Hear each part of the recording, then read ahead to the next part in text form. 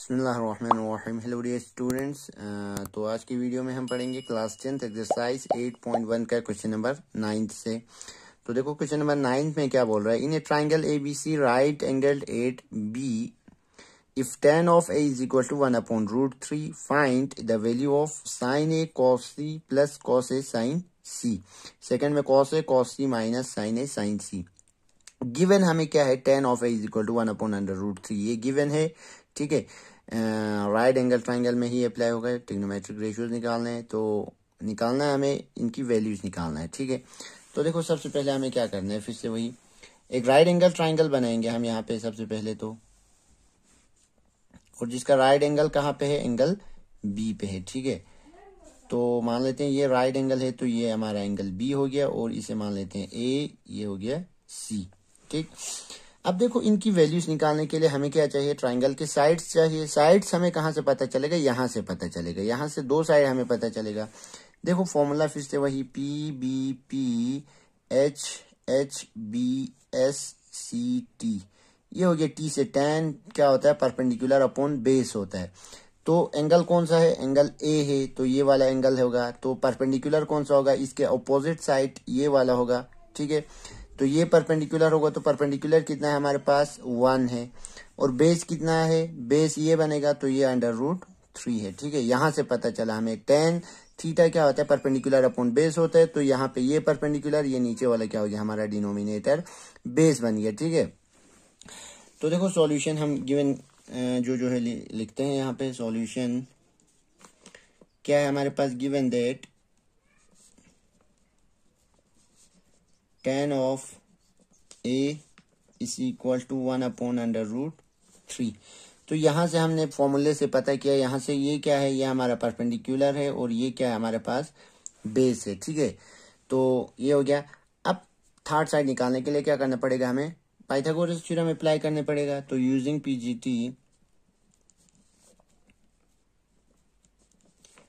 in triangle A B C we get अगर हम इसमें पाइथागोरस थ्योरम यूज़ करेंगे तो क्या आएगा? A C square is equal to A B square plus B C square ठीक है? तो ये आ गया हमारा। अब यहाँ पे वैल्यू पुट करो तो ए सी हमें निकालना है। ए सी आएगा। ए बी की जगह क्या है? रूट थ्री का स्क्र प्लस बी सी की जगह क्या है? वन वन का स्क्र तो A C square is equal to ये क्या आएगा? स्क्र और रूट कैंसिल हो गया, क्या आएगा? थ्री आएगा प्लस वन तो this implies A C square is equal to कितना आ गया? फोर तो दिस इंप्लाइज ए सी कितना आएगा? स्क्र रूट ऑफ़ फोर तो स्क्र रूट ऑफ़ फोर कितना आएगा हमारे पास? टू आएगा. तो A C is equal to two ठीक है? तो ये आ गया हमारा, ये कितना है? टू है हमारे पास ए सी ये वाला साइड टू आ गया। अब देखो, निकालना क्या है, हमें यहाँ पे साइन है कॉस सी कॉस है साइन सी और यहाँ पे भी कॉस है कॉस सी साइन है साइन सी इसका मतलब हमें साइन में एंगल ए पे निकालना पड़ेगा और कॉस में एंगल ए निकालना पड़ेगा। और कॉस में angle C cos angle sine angle C निकालना पड़ेगा, ठीक है?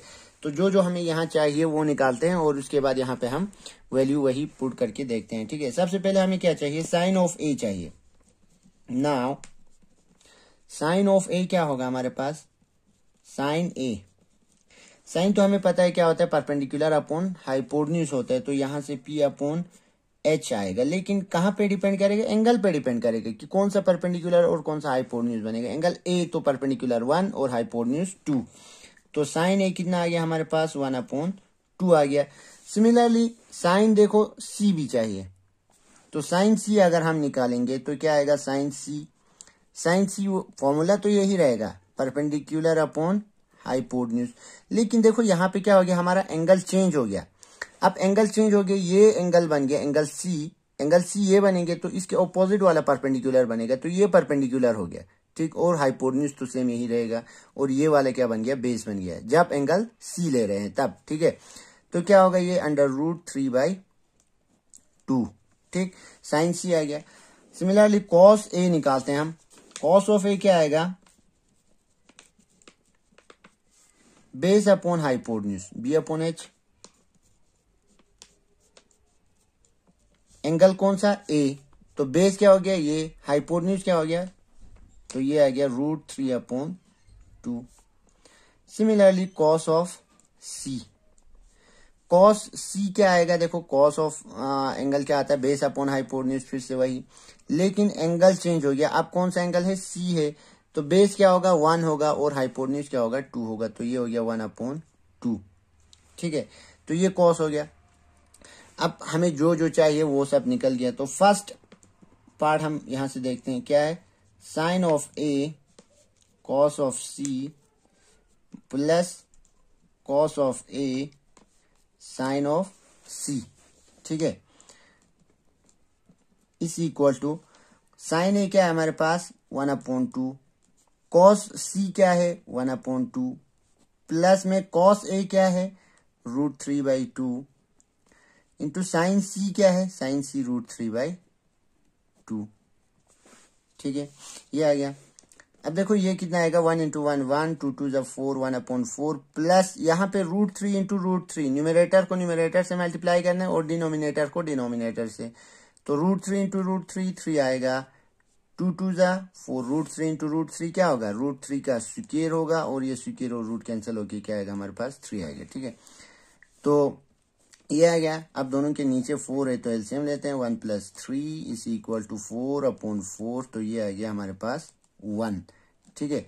तो इस एक्सप्रेशन की वैल्यू फ़र्स्ट वाला हमारे पास किसके बराबर आ गया? वन के बराबर आ गया। अब सेकंड पार्ट हम देखते हैं, देखो। सेकंड पार्ट क्या है हमारे पास? Cos of A cos of C minus में sine of A sine of C is equal to ठीक है? तो हमने वैल्यू निकाल के रखे हैं, इसी में पुट करते हैं। कॉस ऑफ़ ए क्या है हमारे पास? Cos A root three by two है। कॉस सी क्या है? वन अपॉइंट टू है। बीच में माइनस है। इसके बाद साइन ए साइन ए क्या है? वन अपॉइंट टू है। और साइन सी कितना है? Sine C root three by two है। तो ये कितना आएगा? Root three divided by four minus में root three divided by four तो क्या आएगा ये? ज़ीरो के बराबर आएगा, ठीक है? क्योंकि एक पॉजिटिव एक नेगेटिव आ रहा है। तो ये एक्सप्रेशन क्या हो गया? हमारा ज़ीरो के इक्वल हो गया, ठीक है? तो ये था आपका क्वेश्चन नंबर नाइन्थ अब देखो नेक्स्ट क्वेश्चन नंबर टेंथ में क्या है हमारे पास? In triangle P Q R right angle at Q P R plus Q R is equal to twenty five centimetre and P Q is equal to five centimetre determine the values of sine P cos P and tan P हमें एक triangle given है right angle triangle ठीक है? यहाँ पे बनाते हैं उनकी जो गिवन हमें दिया हुआ है उसके हिसाब से। तो एक right angle triangle right angle at Q Q पे राइट एंगल है। ठीक तो ये क्यू है। ये पी हो गया, ये आर हो गया। ठीक और इसके बाद बोला हुआ है P R plus Q R is equal to twenty five P R तो एक ये हो गया और क्यू आर क्यू आर ये हो गया। इन दोनों को मिला के हमारे पास कितना है? 25 सेंटीमीटर है। लेकिन हमें ये पता नहीं है कि ये अलग से कितना है, ये वाला कितना है, ये हमें पता नहीं है। दोनों को सम करके, दोनों का साइड सम करके 25 सेंटीमीटर है। And P Q is equal to five centimetre ये फाइव सेंटीमीटर है। ठीक है? तो इसके बाद बोल रहे हैं, हमें निकालना है कि sine P cos P tan P ये तो आसान है sine P cos P tan P निकालना। लेकिन अब हमें पता करना पड़ेगा कि ये साइड्स कितने हैं। ठीक है, ये वाला साइड कितना सेंटीमीटर है, ये वाला साइड कितना सेंटीमीटर है। हमें इन दोनों के सम दिया हुआ है। ठीक है तो देखो क्या करेंगे, सबसे पहले ये इंपॉर्टेंट क्वेश्चन भी है। ठीक है, आपको एग्ज़ाम में ये बार बार आते हैं। तो क्या है given that P R plus Q R is equal to twenty five centimetre ठीक? ये हमें गिवन है। और क्या गिवन है? P Q is equal to क्या है हमारे पास? फाइव सेंटीमीटर है। अब देखो लेट करेंगे कि हम पी आर कितने हमारे पास? एक्स सेंटीमीटर है। ठीक है? हम लेट इन दोनों का सम दिया हुआ है तो लेट करते हैं कि ये कितना है हमारे पास? एक्स है। Let P R is equal to X centimetre ये अगर एक्स है तो इन दोनों का सम कितना था? हमारे पास ट्वेंटी फाइव था तो ये क्या आएगा? डियर फोर इसमें वैल्यू पुट करो। पी आर कितना माना हमने? एक्स माना। तो X plus Q R is equal to twenty five this implies Q R कितना आएगा? एक्स को साइड शिफ्ट करते हैं twenty five minus X centimetre ठीक? हमने ये एक्स मान लिया तो ये कितना आ गया? ट्वेंटी फाइव माइनस एक्स ठीक है? अब देखो, ये आ गया हमारे पास, ये 25 फाइव माइनस एक्स आ गया और ये कितना माना था? हमने एक्स माना था। अब तीनों साइड हमें पता चल गया, लेकिन एक्स में पता चल गया तो हम सबसे पहले एक्स की वैल्यू निकालते हैं। कैसे? पाइथागोरस थ्योरम यूज़ करके। Now using PGT P Q R we get क्या आएगा? P Q sorry P R square is equal to P Q square plus Q R का स्क्र यही आएगा। This implies P R P R हमने क्या माना था? एक्स माना था। तो ये एक्स स्क्र हो गया। Is equal to P Q. कितना है? फाइव. फाइव का square plus Q R. Q R यहाँ से देखो कितना आ गया हमारे पास? Twenty five minus X. तो ये ट्वेंटी फाइव माइनस एक्स का होल स्क्र ये आ गया. अब देखो क्या आएगा? This implies X square is equal to five five सा ट्वेंटी फाइव प्लस ये क्या होगा? ए माइनस बी का होल स्क्र होगा, ठीक है? तो यहाँ पे लिखते हैं ए माइनस बी का होल स्क्र कितना आता है? A square minus two A B plus B square यही आता है, ठीक है? और यहाँ पे देखो ए की जगह क्या है? ट्वेंटी फाइव है और बी की जगह पे क्या है? हमारा एक्स है, ठीक है? तो ये क्या आएगा? ए स्क्र तो ट्वेंटी फाइव का square minus two A B two A twenty five B क्या है? एक्स है। ठीक है?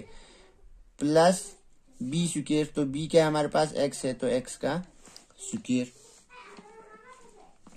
तो ये क्या आएगा? This implies X square is equal to twenty five plus twenty five का square means twenty five into twenty five कितना होता है हमारे पास? सिक्स ट्वेंटी फाइव ठीक है?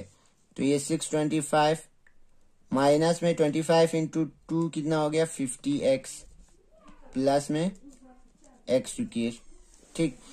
तो देखो, दोनों साइड एक स्क्र है तो ये हमारा क्या हो जाएगा? कैंसल आउट होगा। और यहाँ पे कितना हो गया?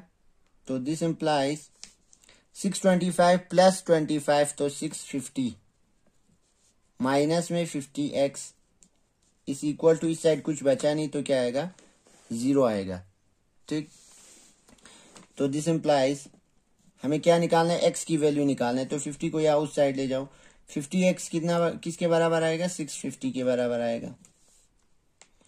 तो दिस इंप्लाइज एक्स किसके बराबर आएगा? सिक्स फिफ्टी अपॉन फिफ्टी तो ये ज़ीरो ज़ीरो कैंसिल हो गया। फाइव वन जा फाइव फाइव थ्री जा फिफ्टीन तो एक्स इसके बराबर आएगा? थर्टीन सेंटीमीटर एक्स हमने क्या माना था? देखो पी आर मान लिया था। पी आर मीन्स हाईपोर्न्यूज तो ये कितना आ गया हमारे पास? थर्टीन आ गया। अगर ये थर्टीन आ गया तो टोटल इस और आ, इस साइड का सम कितना था? ट्वेंटी फाइव मीन्स ये कितना होगा? ट्वेंटी फाइव माइनस थर्टीन क्योंकि यहाँ पे हमने किया था क्यू आर कितना है? Twenty five minus X X की वैल्यू हमने यहाँ पे निकाला है थर्टीन तो कितना होगा ये? ट्वेल्व ठीक है ये ट्वेल्व सेंटीमीटर होगा ये थर्टीन सेंटीमीटर होगा।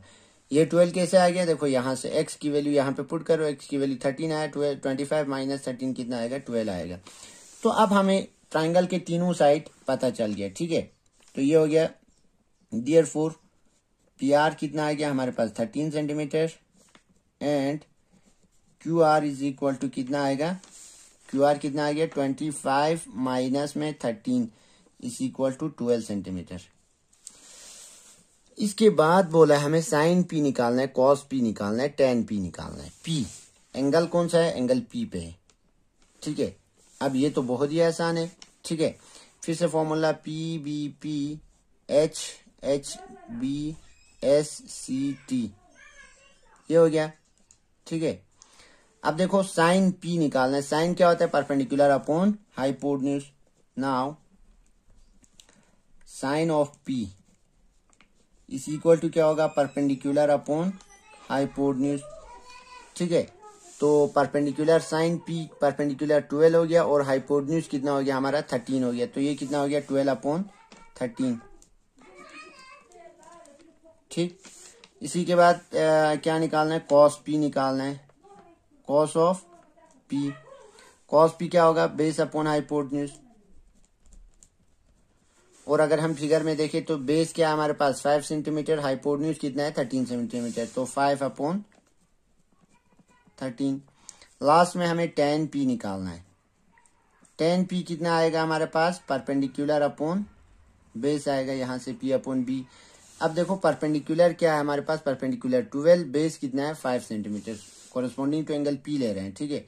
तो परपेंडिकुलर ट्वेल्व और बेस फाइव तो ये जो हमें निकालना था वो आएँगे, ठीक है? Sine P, cos P tan P निकालना था। ये जो निकालना था, वो तो आसान था, लेकिन इसमें क्या हमें ये डिफ़िकल्ट था। इसमें ट्राइंगल के साइड्स निकालना हमें थोड़ा इसमें डिफ़िकल्ट हो रहा था। तो क्या करना है, इसमें आपने जो सम दिया हुआ है, उसको लेट करना है एक्स इसी के बेस पे आपके बुक में एक एग्ज़ाम्पल भी है, ठीक है? तो ये क्वेश्चन इंपॉर्टेंट है, आपको एग्ज़ाम में ये बार बार रिपीट होता है, ठीक है? So thank you very much